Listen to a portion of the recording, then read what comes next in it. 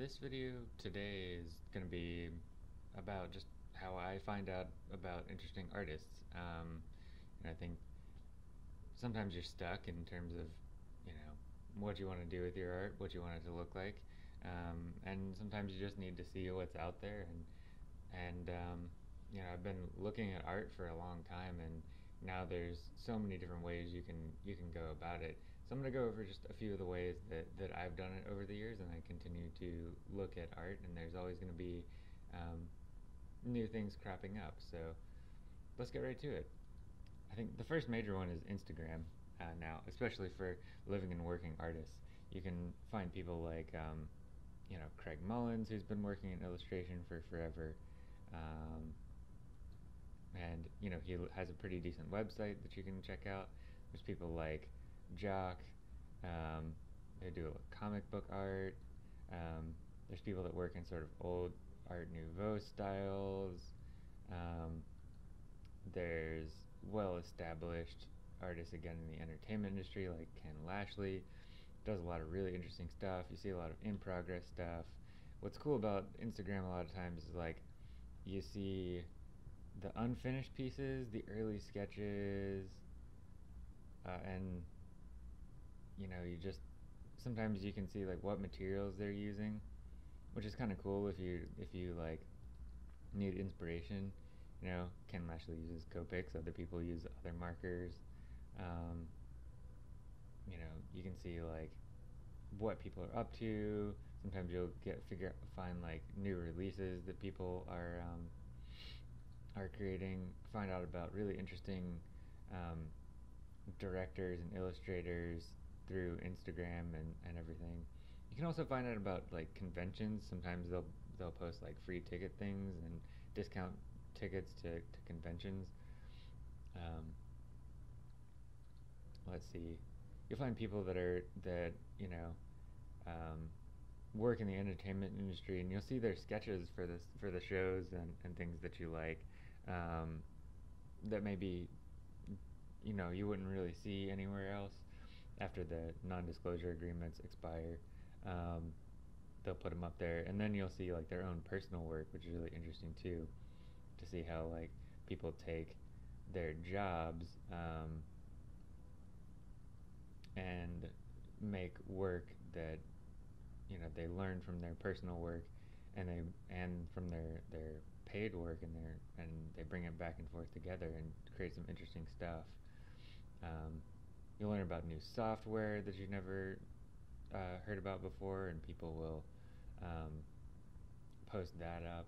You'll look at people and you'll get their takes on like basic color theory, and you can see, then see that at work on the films that they work on. And then you'll find people like uh, like this guy. I have no idea who this person is, but nobody's following them, and you know the sketches are pretty sweet. You know they're really really good, and um, you know just. Uh, you know, Instagram's a funky place like that. Like the popular people get more popular, and like people that aren't just get no attention at all. Um, and then you'll find out like um, about warrior painters, and they have a Discord group. You can get involved in their Discord group, um, and and begin to build communities that way. Um, you'll be able to look at like um, you know now famous character designers and things, and see all of their um, early sketches, you know, you look at something like this and you're like, oh, well, hey, like that may be a cool way to sketch it, just totally flat tone and line work. Um, you know, maybe two, three tones. You'll find out about classes they're teaching. And the neat thing about social media now is that you can just um, reach out to them directly and get them to, to, you know, come to your college or do speaking engagements, workshops, attend their workshops. They'll answer questions a lot of times. Um, you know, and then you look at like people that are just fun to keep tabs on, like like um, Jeremy Hoffman. Um, just creates like, these really funny pages and interesting little sketchbook things. Um, and you'll see people that you don't hear from very much, like uh, Rod Gwen, and you know he just puts stuff on Instagram every once in a while, and then will disappear, and then put some more stuff out, and um, the illustrations are just really ridiculous and funny and, and crazy. Um, one last thought on Instagram is that you know, the search function is garbage. Um, you know, like the stuff that searching for particular tags comes up is never really all that great. Um, I think better ways to find it are to look at who the people you follow are following, um, because a lot of times like they're they're also very interesting. And if you look on posts, and sometimes at the top of the comments, you'll see like who the people are responding to, and maybe they're friends, and maybe they're um, maybe they also do interesting stuff in illustration or, or design or something like that. Um, you know, and, and in the comments too, you'll find things like, um, you know, you could get a print of this. You can um, sometimes find out what materials they that they're that they're using. You can um, sometimes some people will promote their friends and stuff and and people they think are interesting. And I think that that's really um, um, useful, you know, uh, because it's a better way to find stuff by by finding direct connections than by just going through the random search algorithm, which we all know is really terrible. Um, anyway, that's the last thought on Instagram. The next tool that I wanted to talk about in um, how to find artists is wikiart.org. Um, a lot of stuff's on here. I mean, not everything can be on one website, right? But tons of stuff is. What's cool about it is you can search by movement, schools, genres, nationalities, time period, whatever, and um, kind of figure it out. So, like, let's say that you that you've heard of like Art Nouveau, and you like that, and you like the movement. So you can just click Art Nouveau art movement, and it just starts bringing up um, artists, right? And some of them you will have heard of, others you won't. Um, you know, sometimes the, the people that uh, are particularly famous don't necessarily have a lot of images on here, so the quantity of images isn't necessarily um, representative of the quality of the artist or their their um, stature um, here. But we can just start like picking people out, and I just keep I usually just scroll through and just start opening random tabs and um, and looking at various people. Like we all know Alphonse Mucha. And then you just start scrolling through their artworks, and you just get a quick, um, quick overview of like what their stuff looks like. So um, you can just run through and say, "Hey, I like this. Maybe I don't." Um, you know, maybe I'm not into posters, so I don't really want to like look at that and, or bother, right? Um, but uh, you know, maybe I like um, maybe I like surrealism, right? And I just want to research um, more about the about surrealism, and um, maybe I want to find somebody that I've never heard of and go from there, right?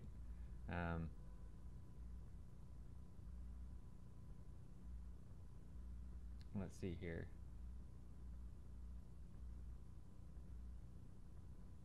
Um, let's say I don't know much about, say, um, Miro.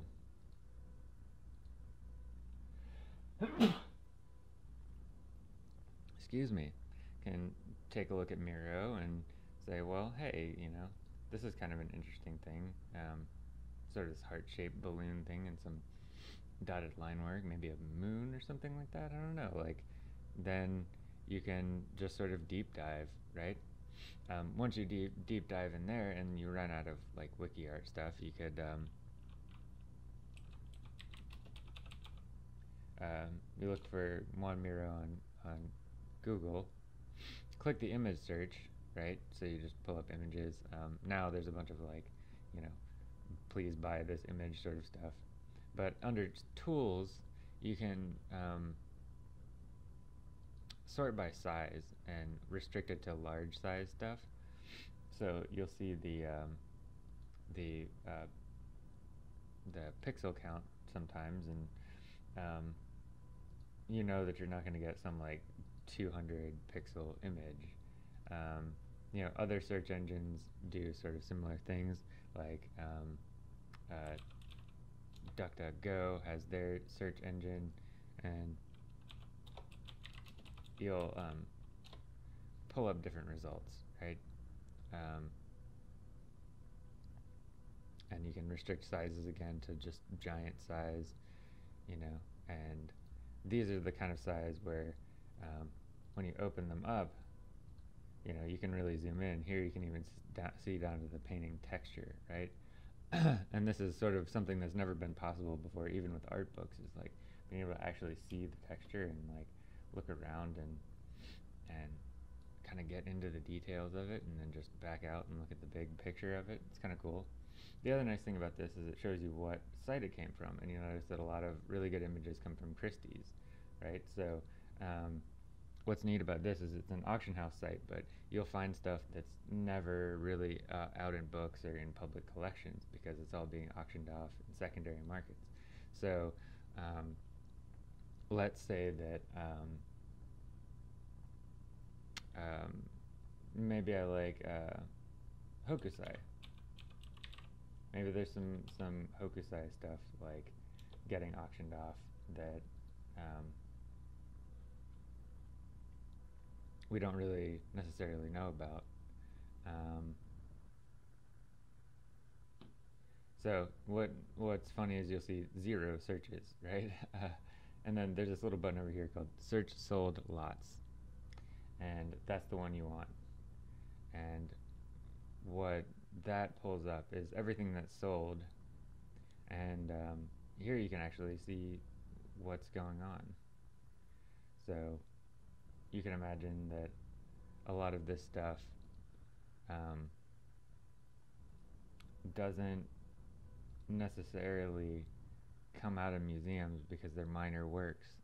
But what's interesting about these these potentially like minor works or whatever things that aren't as famous is that as an artist um, or as a researcher, you know, these things can be um, um, really interesting to look at sometimes you get really good high res images on here. Sometimes you get ones like this that aren't as good. Um, you know what I find about looking at these obscure things is like the ideas that maybe aren't as good or got abandoned are things that you could pick up and develop. Um, you know, because you know a lot of times these the the pieces that you know like this it's just like you know sketch almost you know this pose and this composition and the the idea of looking at the back of someone's head um, it's interesting and it's something that you could pick up and and pull into like you know character design or, or comic book work. And you know you'd probably never see this image in a book and you would probably never see it in a museum on display. You know museums have to have the the most famous stuff out so that they draw people into the museum and um, you know that's kind of um, important to just sort of know. The other thing that you can do on Google that's kind of a and when you're searching is you can um, use the site colon um, uh, search restriction. So I can um, search for images from Miro that are that have only been on Christie's, and um, and that allows me to sort of just the, this also allows allows me to vet the images, right? There's not going to be any um, fake images or like meme images or paint overs or anything like that on um, on the Christie's website, right? It's a major auction house, so um, that's another thing to be careful too. Is like, are you getting like the legit images? And you can then open them in like new tabs, find that link. Um,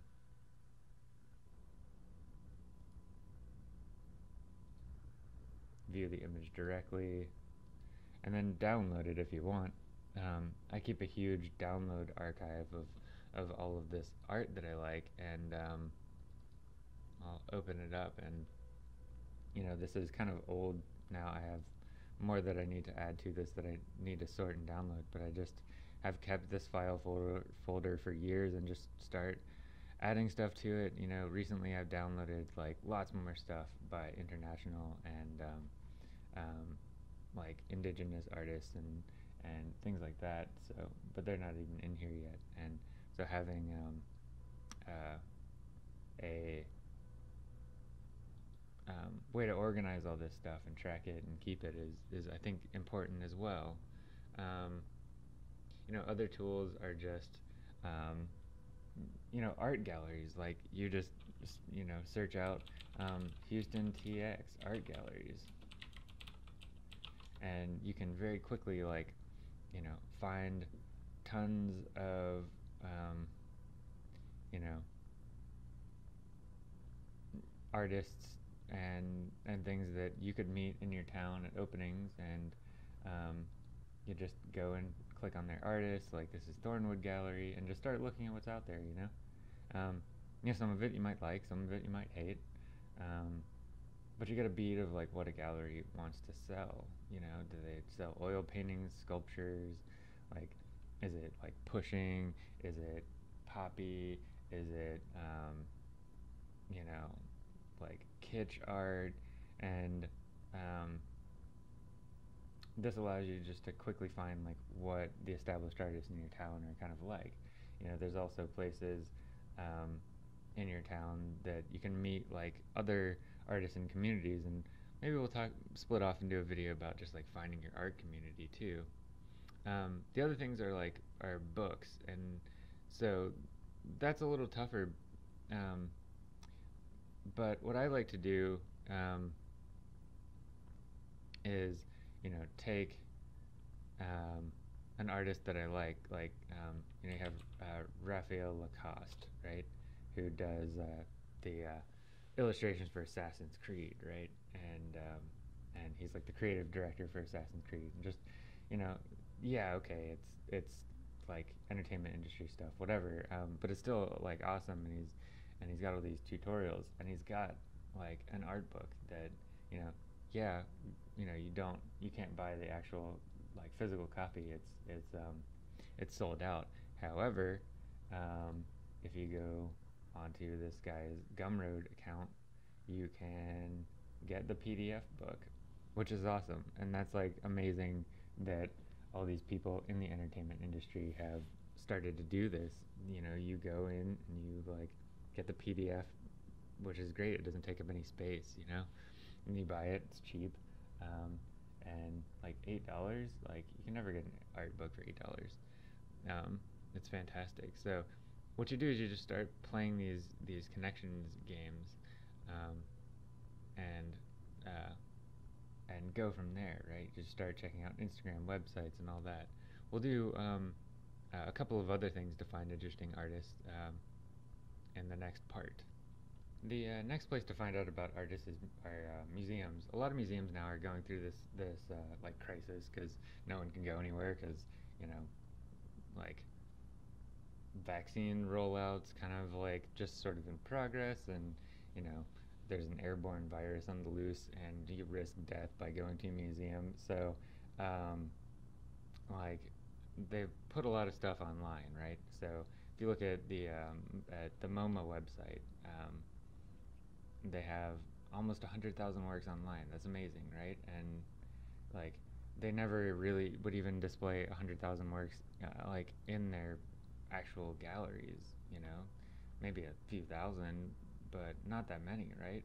Like you're never gonna see these pieces put up in the Museum of Art, uh, mo- modern art ever, right? And they they could be really cool, you know. Um, like and by all these random artists and and there'll be people that you've never heard of and um, may never hear of again right? But um, uh, that's okay because you know you can just kind of look through and if there's something that strikes you you go hey like that's kind of cool like you know, let me let me check that out further, right? What what's this artist about? And then you can deep dive on that particular artist, you know, and you can do that um, at other museums too. Like there's the San Francisco MoMA, and they have you can take a look at their exhibitions that they're doing. So right now they have one about um, like uh, Bay Area artists, seven Bay Area artists, and then you can look up each one of those artists and then um, you know research what they're about, right? Get a quick little preview of what they're doing. Um, collage work, you know, flat kind of graphic painting, um, you know, kind of definitely Bay Area down looking muddy color scheme type stuff. Um, uh, stuff involving nature and photography. So, um, those are really good places to, to begin, right? And then you can put them through the Google search thing. You can check out wiki art for them and so on. Another way is um, art fairs, right? So Volta is one of the, the sort of big satellite art fairs, and then you can look at all of the galleries that um, participated in 2020, and then um, you know go from there. You know, and these galleries will come from all over the world, right? Like, you know, Greenpoint Gallery in Brooklyn, and then um, they have virtual galleries. You know, then you check their virtual gallery and just start clicking around, right? Like, pick somebody random and check out their work, you know, um,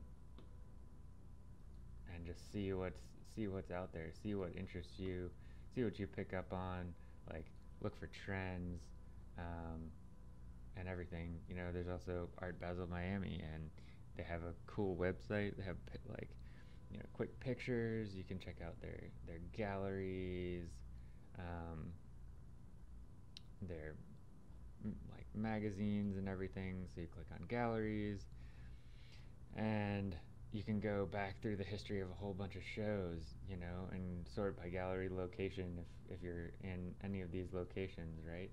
Um, you know, things from all over the world, from Dallas, you know. Like, so, you know, it could be worth like a three and a half hour trip for me up to Dallas and, you know, check out this gallery and see um, what they're doing in Dallas. Um, so, like, see where they're at. The other thing are like conventions, right? So if you're paying attention on Instagram, sometimes you hear about conventions like this Dutch um, convention called uh, We Are Playgrounds, and they do um, a uh, they did like a hybrid virtual in-person thing this year and found out about some really cool artists and watched all these really interesting painting drawing demos and stuff. Um, you know blogs still have a space in the art world you know. Um, art f city is one of the major ones. It's been going for like a decade now or maybe a little more. And um, it, that's been a big one. Um, I, I've met a few people that have written for there and, and everything. And it's um, it's a pretty good blog. Sometimes it gets a little like techish, memeish. Um, sometimes it gets a little negative, but you know, it keeps you up, uh, like up with what's going on. Um, Hyperallergic started as kind of this um, more uh, critical look at, at everything and um, and more analytical, but still within blog post length of stuff that's going on. And you'll hear um, about small shows all over the world. It's grown so much in the past ten years. Um, you know, I wrote a couple articles for them like a long time ago um, when it was much smaller, and um, as they got bigger and bigger, I kind of like dipped out of it and um, and pursued my own sort of interests and, and have watched it become like something way better than than anyone could have ever expected. And you can um, you know look at um, stuff about art books and, and everything and get reviews on art books and that's a good place to start. You know, the other thing too is if you get to go to museums, like then you can look in their bookstore and look at all their books and get a preview of what the books are actually like. So when you're buying an art book, it's like such a big investment. Um, you don't want it to be like, you know, all text, and when you're there for the pretty pictures. Um, so these are kind of like the main ways that I do this, and this is basically just a um, um, this is basically just a way that I play what I've been calling like the connections game. And so you use just one thing connects to the next, connects to the next. Like, you know, this artist worked in this style and this style, so you can look up both the styles that they worked on and then find more artists of those styles and then spread out from there, right? You can, um, you know, search out like almost any art style now, any art movement, right? Because everyone can put all, all their stuff up online. But the um, the problem now is how to find all those people if they're not like super popular, right? So the only way to do that is to is to run connections together and um, you know find book publishers and maybe that book publisher publishes stuff from other obscure artists that you might like or you know maybe you like modern surrealist stuff and you want to find more out about that and you go to like Juxtapoz magazine and that may be too like too cheesy or too like um, you know kind of loopy pseudo rendered styles. I don't know um, what's going on in Juxtapoz now. Maybe it's maybe it's really interesting. Maybe you, look, maybe you're really into that, and that's a place to find more stuff. Um, and you know maybe you find out about an artist through there, and but they're like an outlier, and then you find other places that they've worked. You find their website. You find who their friends are, and you you play these connections and. Um, it's sort of like digging for new music, right? It takes a lot of work and effort, but um, the tools available to you are really powerful now, and you have ways to find out about artists that you've never had before. And um, you know, I think that should be really empowering and, really fun to go on these these deep dive searches. And you know, I think um, it's also good to like either bookmark all this, all this stuff or just start a downloaded archive of all the art that you like and and create, you know, just sort of um, an inspiration board if you're just a maker, if you're if you're um, gonna teach or plan on teaching, you know, like it's great not to have to search out artists and download tons of images to put into slide presentations. Um, you know, so if you have that archive already built up when you begin teaching, it's it's great um, to to sort of help you out. The other thing too is um, when you go to these museums, take pictures. A lot of museums allow you that now, so you can like take a picture of the piece, take a picture of the title tag, and then you have the piece, the title of the year, the medium, everything like all together. Um, and then you archive that, you can sort it. Um, and we'll talk about like, you know, inspiration boards and, and references and, and another kind of thing. But, um, you know, I hope this helped and I hope you did enjoy it. And we're going to go over more stuff like this um, in the future.